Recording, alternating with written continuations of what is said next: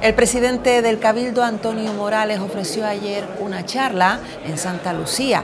Una vez más, dio argumentación suficiente para demostrar que las energías renovables en Canarias son el futuro y son posibles. El presidente del Partido Popular de Tenerife acaba de declarar en el día, ese me huele muy mal esta implantación eh, del gas. Por lo tanto, mm, eh, cada vez está más cuestionado, porque al final es que tiene muy poca razón de ser que se nos intente devolver a un, al siglo pasado. Es decir, tenemos que avanzar con ese modelo eh, que nos impone eh, la naturaleza, la tecnología, la comunidad científica. Mm, no, podemos volver atrás en estos momentos con modelos obsoletos. Y para eso hemos puesto en marcha un programa que hemos llamado Renovagua, que es un programa de 18 millones de euros que establece eh, instalar energías limpias en las desaladoras y depuradoras de la isla.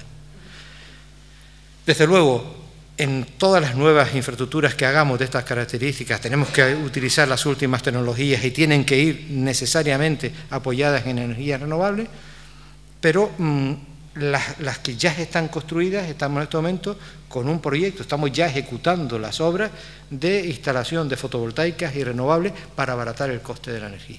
18 millones de euros en un plan que hemos llamado Renovagua.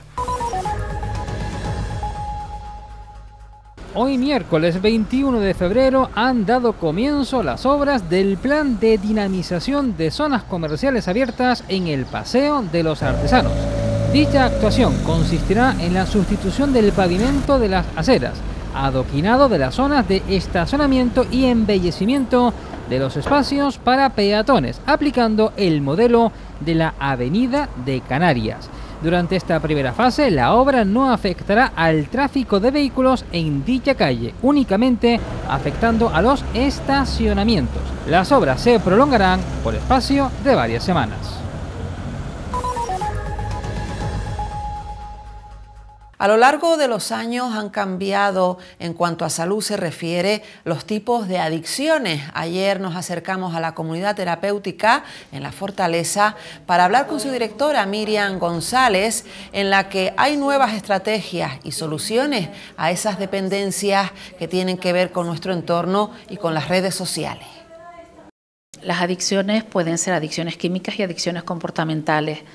Desde desde el último semestre del año anterior estamos eh, abiertos a admitir a tratamiento a personas que eh, no presentan una adicción química, sino una adicción comportamental al juego, redes sociales.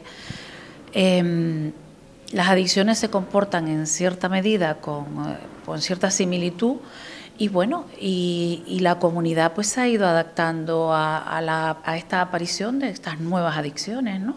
para poderlas tratar aquí en este espacio. ¿no? Las vías de eh, acceso son las mismas que las otras adicciones, porque es a través de las WAT.